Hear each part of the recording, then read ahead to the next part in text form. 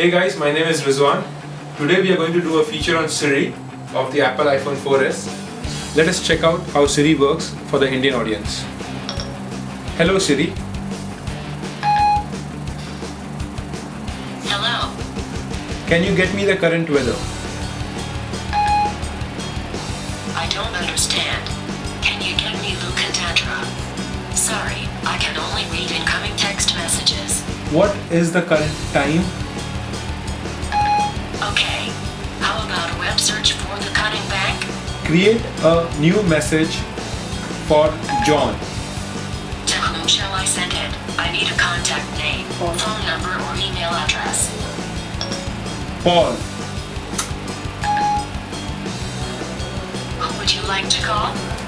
You can see uh, most of the commands were not understood by Siri. Now we're gonna have some fun with it. Let's see what happens. Find me pizza places nearby. Sorry, I can't look for restaurants in India. Where do you live? Wherever you are, that's where I am. Who is Mahatma Gandhi? Checking on that for you. This might answer your question.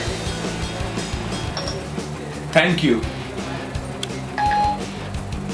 Satisfaction is all the thanks I need.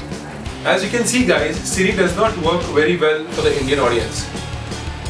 We have tried this with multiple people with different accents, it still fails to understand half of the time.